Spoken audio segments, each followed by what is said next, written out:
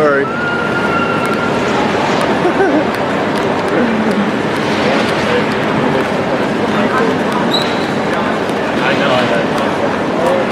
Come on, Charlie. Don't be shy.